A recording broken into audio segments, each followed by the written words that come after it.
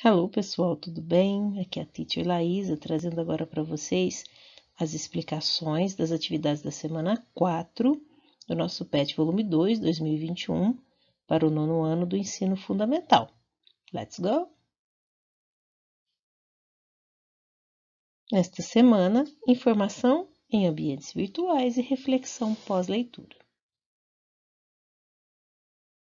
Com o tema Dia Mundial do Meio Ambiente. Activities. Nas semanas 1 e 2 desse PET, você conheceu os Sustainable Development Goals, SDGs. Mas o que seria esse desenvolvimento sustentável? No dia 5 de junho é celebrado o Dia Mundial do Meio Ambiente, the World Environment Day. Esta data foi estabelecida para convidar a todos para uma reflexão sobre o que estamos fazendo para cooperar com a restauração do nosso planeta e como viver de maneira mais sustentável, ou seja, em harmonia com o meio ambiente, de forma a manter os recursos naturais protegidos para que as próximas gerações possam viver e sobreviver na Terra.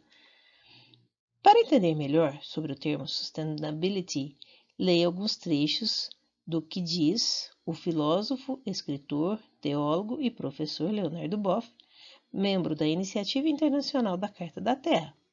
Podemos produzir não para acumular riqueza, mas para ter o suficiente e decente para todos, em harmonia com os ciclos da natureza e com o sentido de solidariedade para com as gerações presentes e futuras.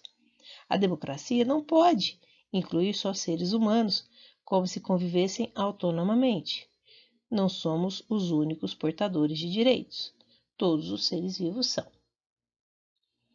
Partindo desse princípio, aqui na questão número 1, um, Explain your own words what sustainability means. Para você, depois de ler esse texto, pensar um pouquinho, o que você acha que significa sustentabilidade? Aqui nós temos várias ideias no texto. Releia com atenção, escreva, mas com suas próprias palavras. O que, que você conseguiu entender? É, a gente fala tanto de meio ambiente, de proteger, nós cobramos tanto de todo mundo e o que nós fazemos também? Qual o nosso conhecimento do assunto para podermos também mudar nossas atitudes? O que significa sustentabilidade? Escreva e responda a questão número 1. Um. Agora leia esse post da página do Facebook de BOF de 5 de outubro de 2020. Word was to 2020 by Thelma Lusani. Leonardo Boff, one of the most lucid thinkers of the Latin American left, said that there is a need for a global joint to face violence and environmental destruction. The earth is deeply threatened, he said. He also spoke about the World Social Forum repulse and criticized President Jair Bolsonaro. Leonardo Boff, the earth no longer holds this limitless capitalism. Thelma Luzani interviews the Brazilian theologian and thinker. Link to article. Aqui está a tradução para vocês. Pausem o vídeo, leiam com atenção e respondam as questões. Na 2. Circule no texto as palavras que você já conhecia e lixe as que ainda não conhecia.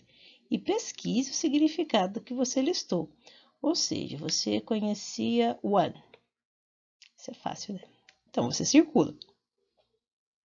As que você não conhece, você vai escrever aqui algumas e pesquisar o significado no Google Tradutor, no dicionário e colocar aqui, ok? Fazendo um, um vocabulário para vocês. Na 3. There is a need for a global joint to face violence and environmental destruction. The earth is deeply threatened. A partir das palavras em destaque da frase, responda o que é preciso para enfrentar o grave desastre e destruição ambiental que a Terra está passando. Esta frase, gente, está traduzida aqui, tá? Do lado de cá, só prestar atenção. E aí você vai pensar, né? O que é preciso, gente? O que nós devemos fazer para evitar esse grave desastre e destruição ambiental? Mais uma vez, reflitam vocês podem pesquisar também na internet o que nós devemos fazer. Na forma, A quais metas globais podemos associar esse chamado na fala de Leonardo Boff? E aí a gente vem falando muito, né, das metas globais, dos 17 objetivos. Volte na sua apostila, busque quais objetivos têm esse mesmo sentido do que ele fala em relação ao meio ambiente, em relação à destruição. Ok? E na 5, pense em pequenas ações diárias que podemos fazer para ajudar a salvar nosso planeta. Isso é muito importante, gente. Se cada um fizer sua parte, podemos alcançar um resultado global que será bom para todos. Escreva as dicas das ações diárias em inglês e depois, né, coloque em português e ainda ilustre. Hum, você pode fazer pequenos cartazes para lembrar sua família de que todos podemos ajudar nosso planeta. Olha o exemplo. Turn off the lights when you leave. Traduzindo, desligar as luzes ao sair, e aí você faz um desenho ilustrando. Pense em mais algumas dicas. Faça, eu tenho certeza que vai ficar muito bom. E a gente se vê na correção. Bye bye.